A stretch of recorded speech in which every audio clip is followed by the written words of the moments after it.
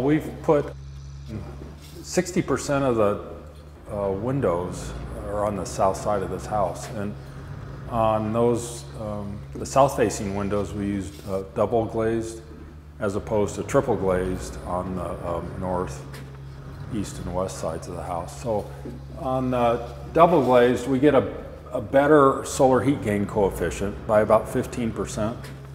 Uh, solar heat gain coefficient is 0.49 on the south facing windows, but we lose a little bit of insulating value. So it's 0.31 uh, U value on the south. I think the uh, triple glazed windows were around a 0.28.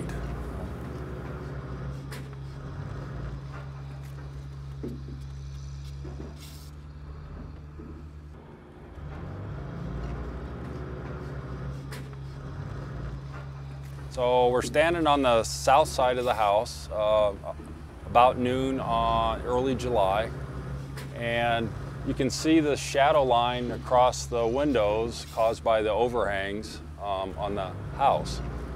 Um, the win windows behind me are fully in shade um, because the overhangs are a little bit longer there.